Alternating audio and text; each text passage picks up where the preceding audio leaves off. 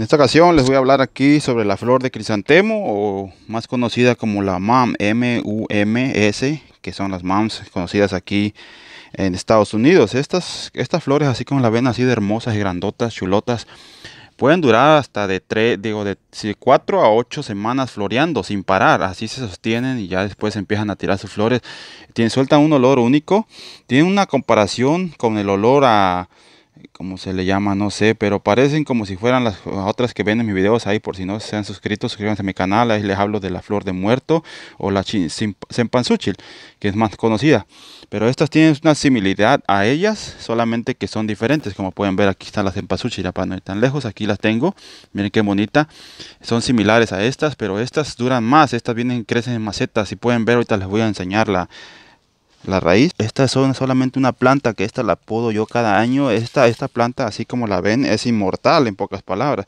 Aquí yo estoy en la zona 7, quiere decir que va hasta a 10 grados centígrados. Hasta 0 grados centígrados, ¿sabes? Lo que quiere decir que se congela. La única manera de conservarla es podándolas, eh, podándolas de hasta abajo, casi hasta abajo y cubriéndolas con hojas que después ahí les estaré mostrando otro video cómo, cómo cuidarla. Pero ahorita les voy a mostrar al último una más o menos a cómo se le hace. Entre las crisantemos y todas las variedades tenemos de muchos colores y sabores, como me gusta decir siempre. Como pueden ver, esta aquí también está floreando. Esta es una, es una variedad chaparrita, una variedad enana que no crece mucho. igualmente no se me ha llenado aquí como debo porque este año las descuidé un poco. Pero si no, esta estuviera como las otras que les mostré. Solo es cuestión de podarlas hasta el suelo, que es lo mejor. Podarlas hasta la raíz, no hasta la raíz exactamente, sino dejar un tronquito más o menos como el tamaño de un, de un dedo, la mitad de un dedo y dejarlas y no taparlas completamente, pero sí ponerles unas buenas hojas que les digo, les estaré mostrando ahorita el último. Y pues esta variedad, miren, esta variedad es una naranjada, igualmente chaparrita y pues sí, hay de, tamaños y colores y de muchas otras variedades que por ejemplo les muestro ahí en otros mi video.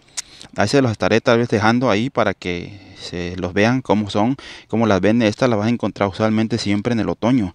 En el otoño las van a vender porque es cuando están, cuando florean. Estas siempre van a florear en el otoño, eh, a finales de, de a, sí, a medio otoño, a finales de otoño incluso y a principios de, de, de invierno que ya cuando viene el frío es cuando se deben de podar. Solito se va a dar cuenta uno cuando ya estén podando porque ya van a empezar a tirar su flor e igualmente sus hojas se van a empezar a marchitar e incluso queriéndose morir.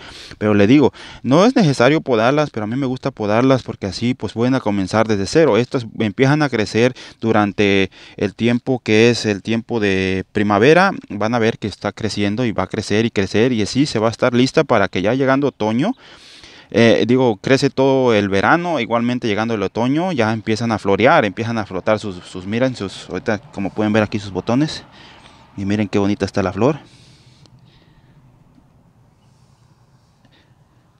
Ya cuando les digo que empiecen a ver, ahorita les voy a mostrar, esta por ejemplo es naranjada, la otra es rosada. Y por este lado aquí también tenemos otra variedad chaparrita, que esta es la amarilla, si pueden ver, miren.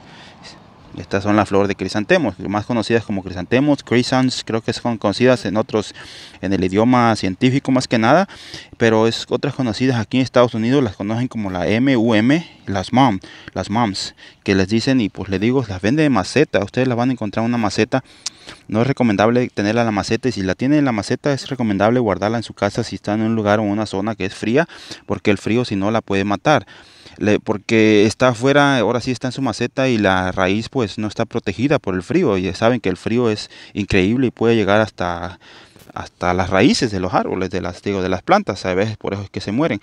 Sin embargo, si la siembran en el suelo y la cuidan, solamente es cuestión de lo que yo hago, ahorita les voy a mostrar al último, como les digo, ahorita les digo, esta, es una versión chaparrita y aquí tengo más, miren, estas igualmente no las podé como debía y por eso no se me llenó como se debe, como se ve la primera que les mostré. Aquí igualmente tengo esta variedad que igualmente, otra de las cosas que no les recomiendo es sembrarla, como pueden ver aquí, miren, la tengo en la sombra. Esta se me ponía bien chula los años pasados, pero ahorita como este que aquí tengo que es un... ¿Cómo se llama? un higo, una mata de higo. Sabemos que el higo crece muy rápido, como pueden ver aquí tengo mis higos, miren, por no sabían, ya aprovechando aquí Ahí suscríbanse a mi canal, denle un like, compartan y comenten y pues les estaré trayendo de todo un poco. Ahí le hablo de los higos y cosas por el estilo, pero vamos para atrás. Pues sí, aquí estamos con las más. Como le digo, esta es la misma variedad, el mismo color, digo, de la misma que les mostraba ahorita, pero esta es una variedad grande. Esta misma variedad es la que crecen grande y se llenan, y estupen. Le digo, si las podas y más que nada si las ponen en un lugar soleado como la primera que les enseñaba, la rosada que está llena. Se ven muy hermosas y muy grandota, bien frondosa que están y bien hermosas que están las flores y es por lo mismo le digo que aquella está en el sol y esta no. Esta por eso es que no quiere, está dando mis botones, pero no se ha llenado como debería, porque la sombra la está trazando. Estas flores necesitan de 6, mínimo 6 a 8 horas diarias de, sol, ya de pérdida, aunque sea 4 horas diarias de sol directo, para que así puedan dar su floración más bonita. Si ustedes la siembran en el sol como está esta que está aquí pegada a la pared, más que nada, igualmente el calor de la pared a veces les ayuda y las protege también del viento que luego las puede quebrar. Pero miren qué chulada está aquí. Como les digo, se las recomiendo. Las van a encontrar estas en cualquier tienda. Si están en Estados Unidos, la pueden encontrar en la Walmart, en el Lowe's, donde quiera las venden hoy en día. Les digo, principalmente las van a encontrar en el otoño, que las venden en maceta. Y les digo, se las recomiendo si las compran antes de que empiece el frío, siembrenlas en la tierra y, pues pódenla.